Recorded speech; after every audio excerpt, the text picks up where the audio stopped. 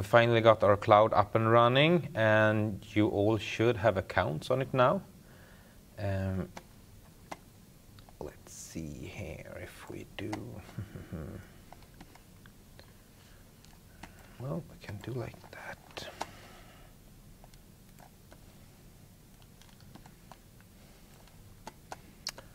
And on our course homepage,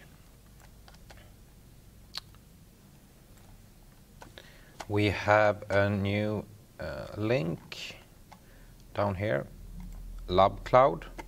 And if you're not logged in, you won't see any information. But if you log in as a student,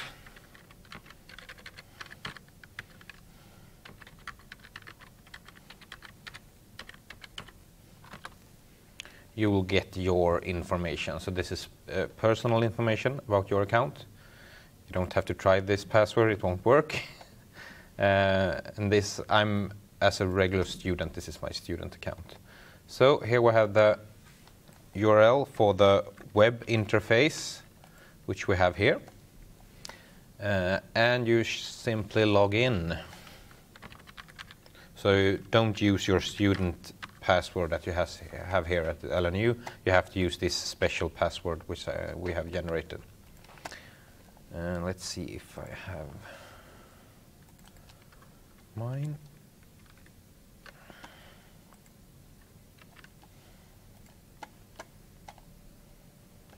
And we are in. And the first thing you see here is an overview of your uh, usage of the, the cloud. Uh, you also see uh, which limits you have. Uh, we have set up that you can use 15 instances, and an instance is a it's a server. Uh, and how many virtual CPUs you can use, the amount of, of RAM. You have 25 gigabyte uh, of RAM.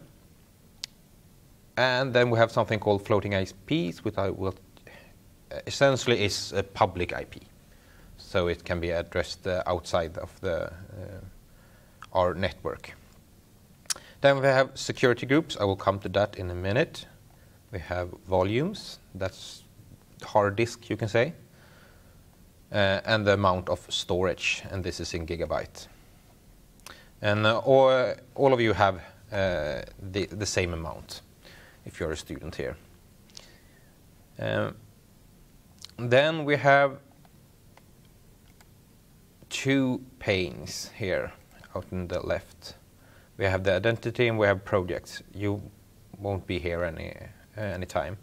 Uh, you'll probably be in the project. And all these limits and uh, how much you can allocate is based on the, pro the project that you're in. Uh, and in here we have compute, network, and object store.